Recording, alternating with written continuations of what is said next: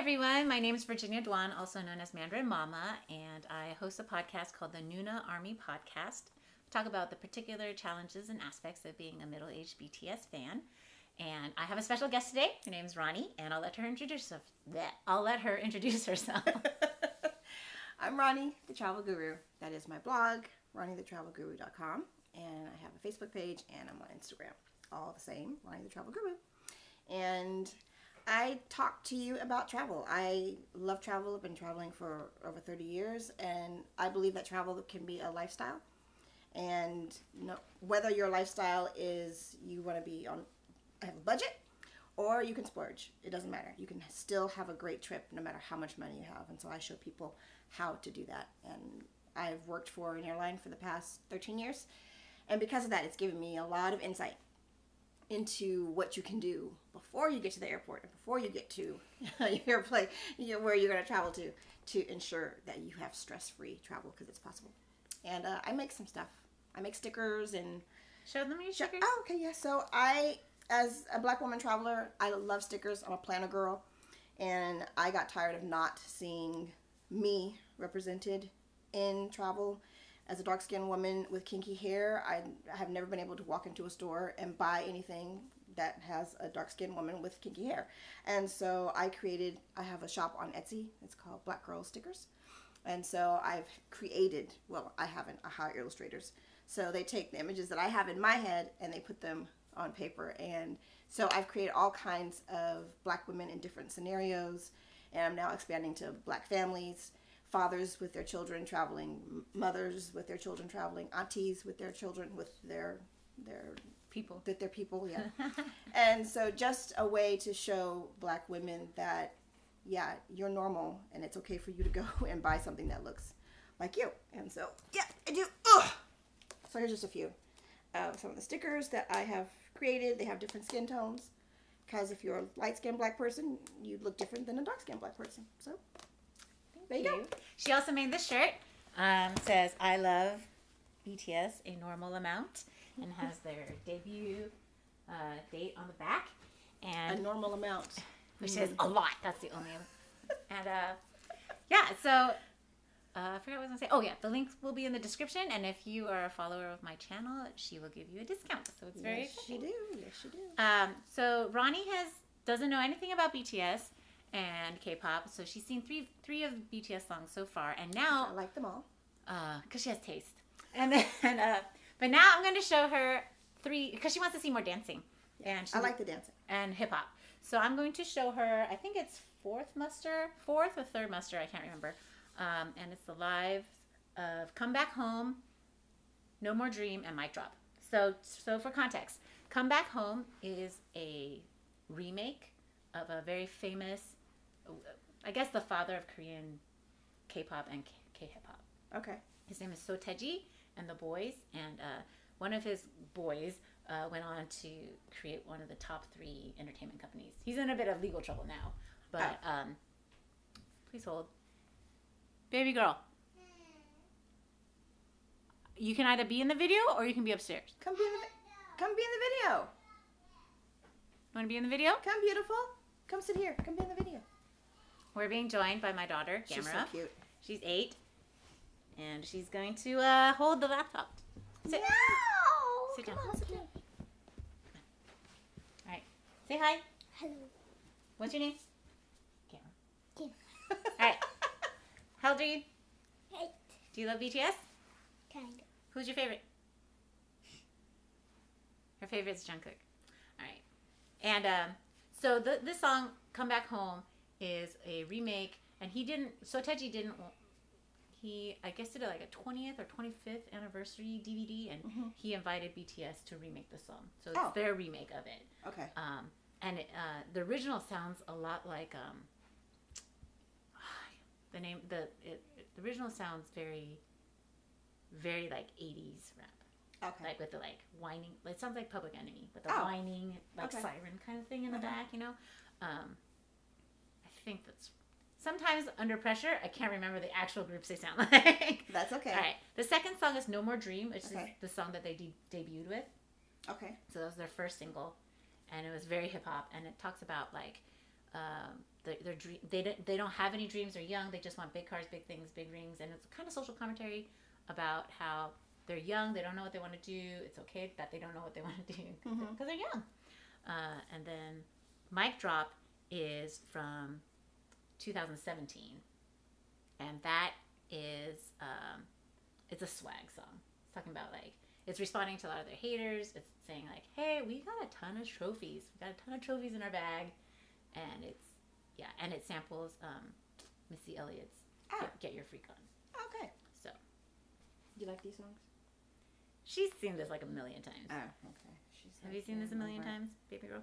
Maybe. Maybe. Here we go. Are you gonna dance? No. No. Now, where was this concert? Uh, Korea. So they do Oh. fan conference, like concerts, just to like thank the fans. My gosh, that's a lot of people. Yes.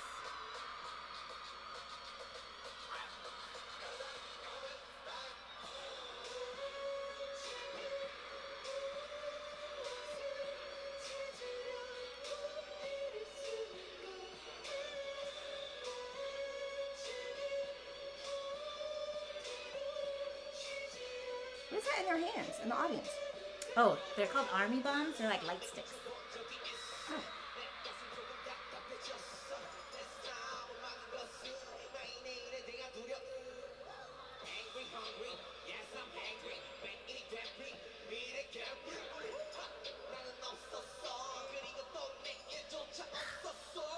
So awesome. My daughter is here, so I can't say anything.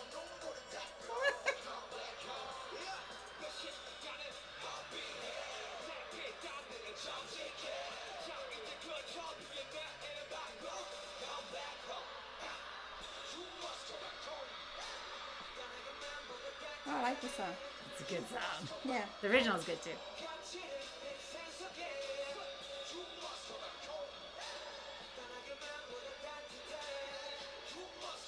Were these guys were they friends before, or No. there was like a casting call thing and they brought it all together? Yeah.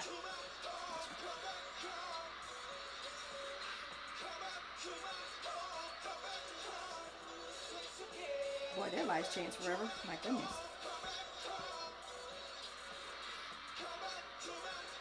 He actually accompanied a friend to the audition and then auditioned on the flute. No He way. was like, "Oh, I'll try." And oh, and the friend. So the friend obviously didn't get in. No, the friend did not get in. I wonder if they're still friends. I don't know.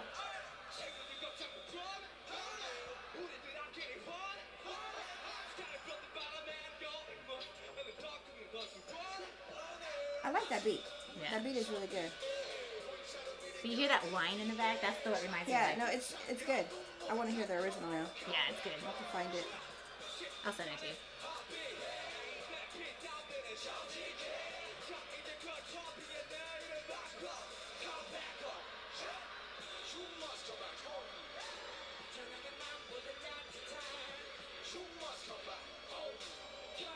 You hear the song? Does it make you want to dance? No. Very serious.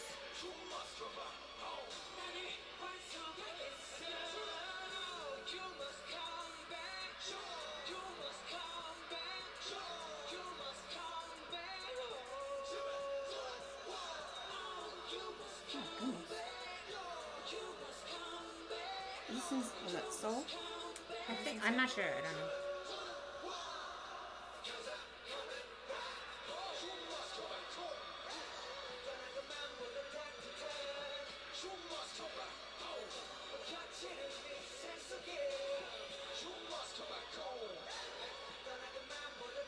This is probably one of my top three favorite live performances. Yeah.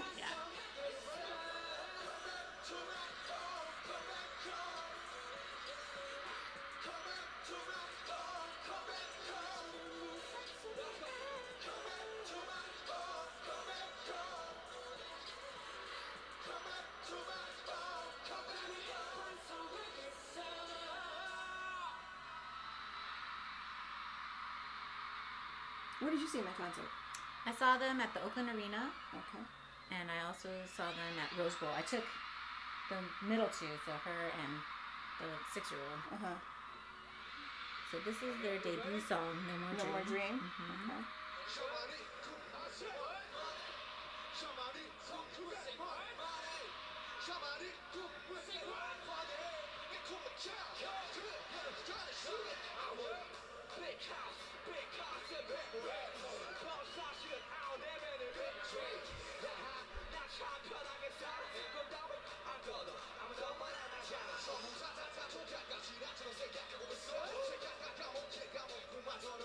Are they lip singing or are they really No, singing? they're they're they're They're singing. really singing. they're terrible lip singers. Are they really? Yeah, they're terrible. You're like try harder.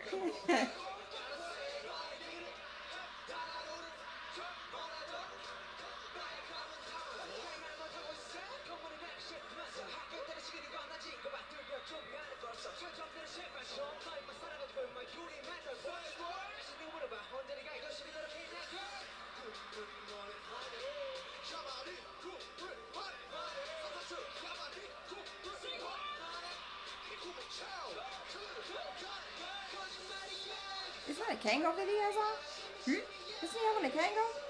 A Kangol? Kangol. The, the hat. Oh, I have no idea. I'm like, a what? I know nothing about brands.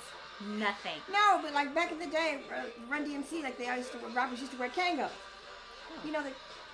No, you have no idea what I'm talking No. about. Now I have to Google.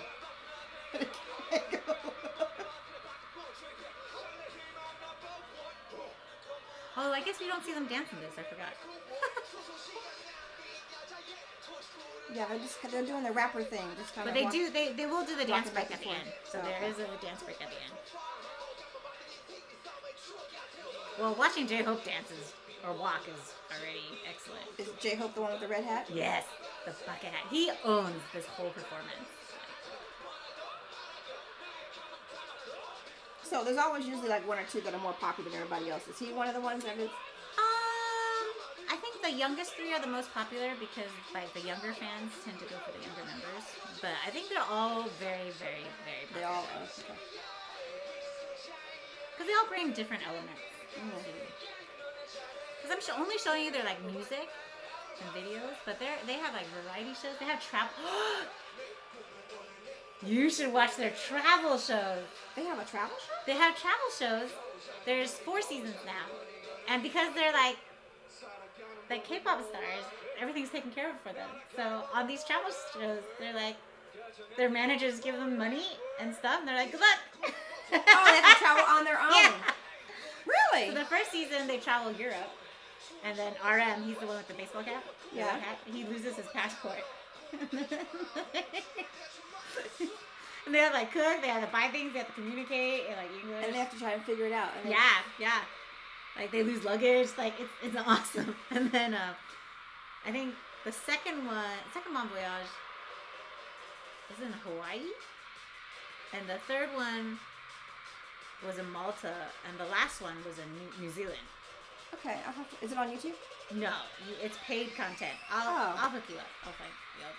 Ah, yes. We missed. I'm sorry. We missed the best part. We had, Oh, to, we had we had to pay attention to this dance break. Okay. Okay. I apologize. This is the whole reason I watched this video. Okay.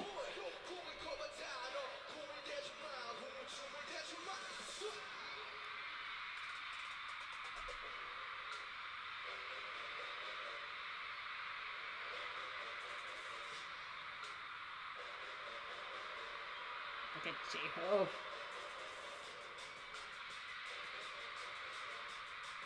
That one right there. Yeah. Yeah. Just He's got swag. yeah, he's got swag. right. Look Yeah. how low he goes. oh my got- god. oh. He might. Oh. Oh. Okay. Yeah. He's he's he's definitely got some. Yeah. He's got swag. Mm-hmm.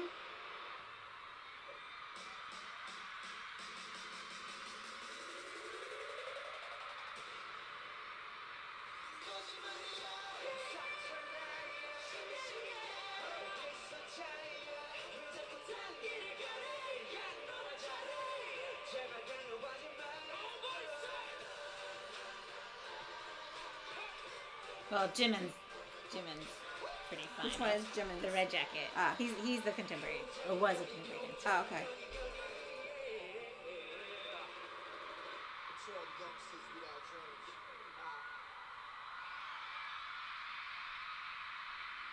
So now they're doing mic drop Okay. remix. I look how far back most people are.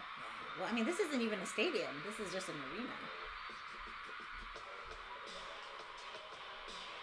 So they're doing a fan chant where they're like chanting all their names in like fan chant order. There's a fan chant. Yeah. Well, so there are lots of fan chants. Every song has a fan chant that they perform, so that like the the audience learns it and they like, so they like it's a way to participate in the song. Every song I, has a I fan think chant. I think almost like before a concert they'll release like Oh, they release it and the fans learn it, Mm-hmm. and then they sing it to them at the concert. It's pretty smart. It's a K-pop thing. Oh, that, that's that's brilliant marketing. K-pop is fantastic marketing.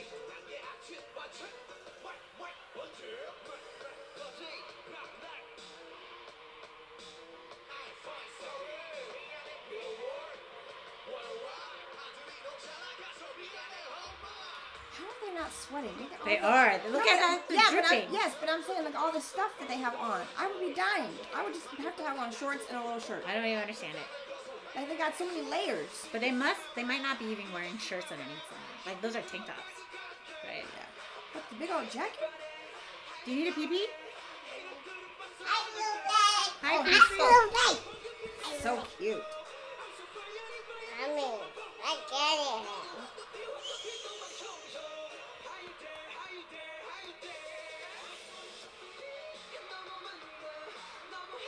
That's like I need to go work out Mm-hmm. Hey, after watching this.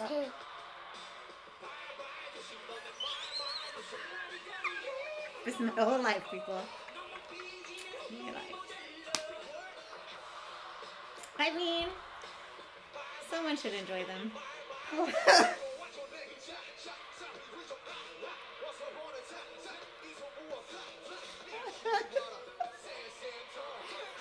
that's enough. We're on camera. It's so funny. It's just.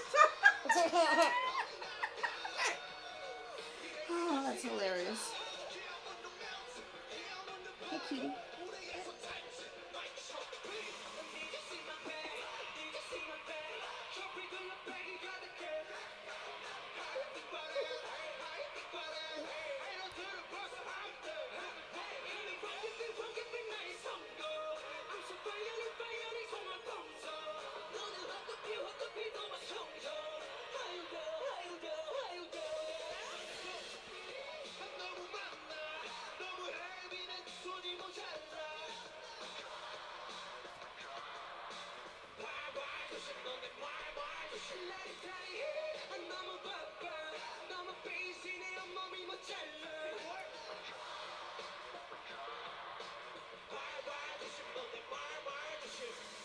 Oh, okay. It's gonna get so awesome so soon. But like at a concert, they perform like 25 songs, That's a lot. and for like they dance for the, The whole time. Most of them. yeah. With like five, six outfit changes and stuff. That's a lot. I must be so tired after.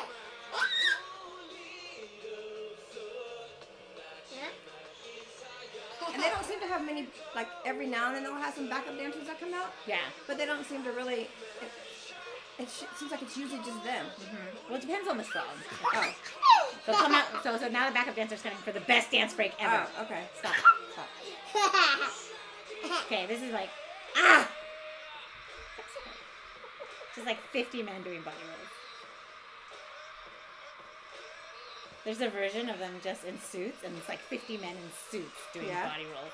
And it is the best thing I've ever seen on TV ever. Mommy, you know see up there. yeah. Mom, I didn't one person. Why is there only one person?